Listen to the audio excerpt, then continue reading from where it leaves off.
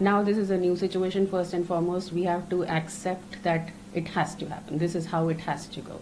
If we want to protect ourselves and protect, uh, you know, our way of life, we should be willing to hold ourselves back or restrain ourselves.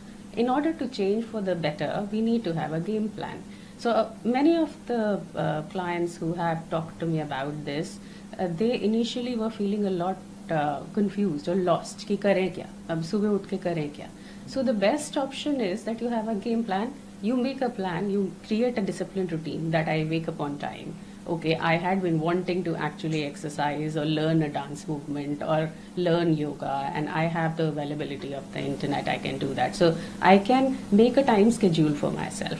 इस lockdown के दो components हैं। एक ये कि हम एक बंधन महसूस कर रहे हैं और दूसरा ये कि हमें आगे का पता नहीं है कि क्या होने वाला है और उस अनसर्टेनिटी की वजह से हम बहुत ज़्यादा घबराहट और परेशानी महसूस कर रहे हैं, उसे नहीं हैंडल कर पा रहे हैं। पर्सनली देखें तो मैं इसको दो तरीके से एनालाइज करती हूँ। एक ये कि हाँ सरकार भी समझ रही है कि लोगों के लिए इस चीज़ को हैंडल करना मुश्किल हो रहा है।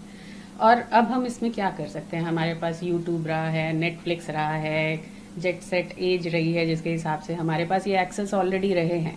लेकिन काफ़ी चीज़ें हैं जो हम भूल गए। जैसे महाभारत है या रामायण है, अगर हम आजकल की जनरेशन को देखें तो उनकी माइथोलॉजी की नॉलेज उतनी ज़्यादा नहीं है। या फिर वो छोटा भीम या कृष्णा ये वाले जो कार्टून सीरीज़ हैं, उनसे देख के थोड़ी थोड़ी नॉलेज लेते हैं।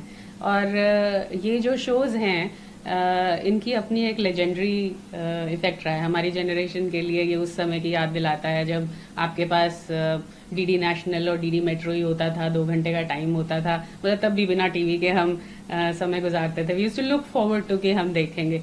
तो मेरे ख्याल से जो लोग इस चीज़ को एंजॉय करते हैं उनके लिए अच्छी मूव है।